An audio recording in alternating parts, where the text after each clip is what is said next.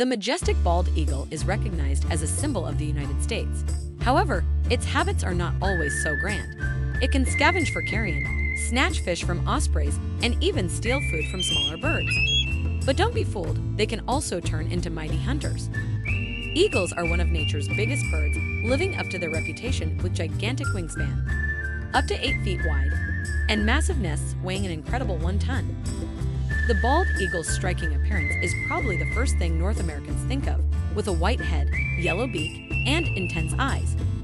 But there's more to this iconic bird than just its looks. So get ready to learn about this impressive aerial predator and find out what makes it so unique to the continent.